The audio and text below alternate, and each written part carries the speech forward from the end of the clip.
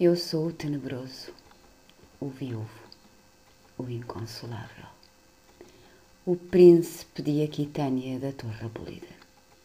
A minha única estrela está morta e meu alaúde constelado transporta o sol negro da melancolia.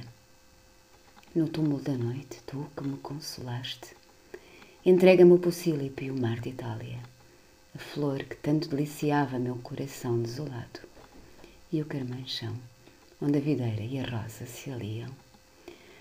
Sou amor ou febo, Luizinha ou Baron. A minha fronte está rubrenta do beijo da rainha. Eu sonhei na gruta onde nada a sereia. E por duas vezes venci e atravessei o Acronte, declamando de cada vez sobre a lira de Orfeu os suspiros da santa e os rogos da fada. Gérard de Nerval